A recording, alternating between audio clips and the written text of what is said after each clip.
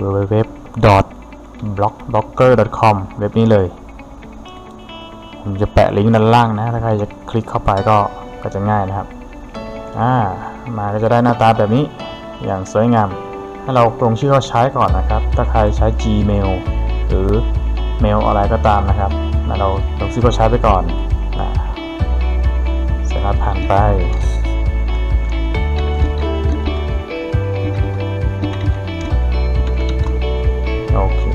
จะลงชื่อด้วยเข้าของ Google นะครับ มาสู่หน้านี้นะครับ ก็ให้เราไปกดตรงสร้างบล็อกใหม่ได้เลยนะครับ ทีนี้หัวข้อเนี้ยมันเป็นหัวข้อที่จะแสดงนะครับผมว่าเราจะเอาหัวข้อไหนดีนะครับเป็นผมเคยใช้เป็นนี้ new it easy อ่าบล็อกนี้ผมก็จะสร้างขึ้นมานะครับ ส่วนชื่อที่อยู่ address นะครับ ก็ใส่เป็นภาษาอังกฤษไปนะ new it easy มันก็จะออกมาให้เราดูที่เป็นนามสกุล blogspot.com อ่าถ้าใช้ได้ก็ขึ้นขึ้นมาอย่างนี้มาครับก็จะมี template theme หลายตัวให้เราเลือกได้นะฮะแล้วกดสร้างบล็อกอ่ามันก็จะบอกว่ากำลังสร้างบล็อกสร้างเสร็จแล้วค้นหาชื่อ domain name สำหรับบล็อกเกอร์ของคุณขั้นตอนที่ อันนี้คือสำหรับคนที่ต้องการ domain name หรือต้องการ ลิขสิทธิ์ domain name นะครับ ก็ก็กดค้นหาดูนะครับผม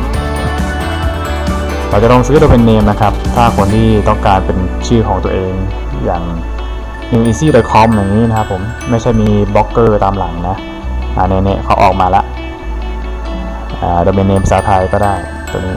neweasy.com 420 บาทต่อปีประมาณนี้ .biz .cc .expert นะครับ ตามราคา ถ้าเราไม่เอาล่ะครับแล้วก็กะออกไปก่อนเลยครับผมเราไม่ต้องใช้นะฮะประมาณหน้านี้แล้วทีนี้เรามาเริ่มสร้างกันดูเลยนะครับ ให้กดไปตรงที่บทความใหม่ตรงนี้นะครับผมคลิกเข้าไปเลย หน้าตาก็จะคล้ายๆกับ Word นะครับโปรแกรม Word อย่างที่เราคุ้นเคยกันดีนะครับผมก็สามารถใส่ข้อความอะไรเข้าไปได้เลยนะครับใส่ข้อความเข้าไปเลยยินดีต้อนรับ เข้าสู่ New IT Easy อะก็จะประมาณนี้ครับ ส่วนความหนาเล็กใหญ่ก็แล้วแต่เราออกแบบได้เลย เป็นสีเฉดสีก็ได้ครับ เป็นสีแดง โอเคครับ ทีนี้ก็ใส่ภาพนะครับ ใส่ภาพก็จะ ตรงนี้เลยเพราะว่าแทรกรูปภาพง่ายๆเลยนะครับ เราจะอัปโหลดไฟล์จากภาพที่เรามีอยู่ก็ได้ หรือว่าจากเว็บต่างๆก็ได้นะครับ อย่างเช่นอัปโหลดไฟล์ก็กดเลือกไฟล์ตรงนี้ครับไปตรงที่เราได้เซฟรูปภาพไว้แล้วนะครับ กด Open ครับก็จะทำการอัปโหลดขึ้นมา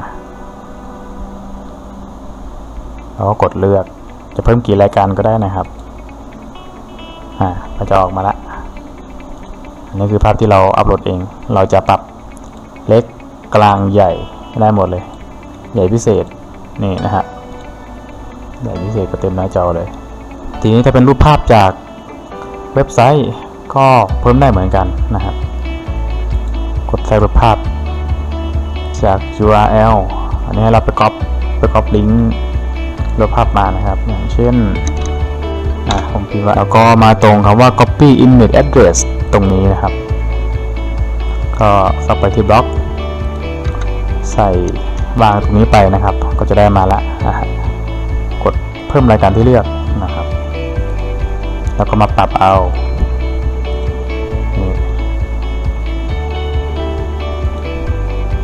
โอเคก็จะได้มาละ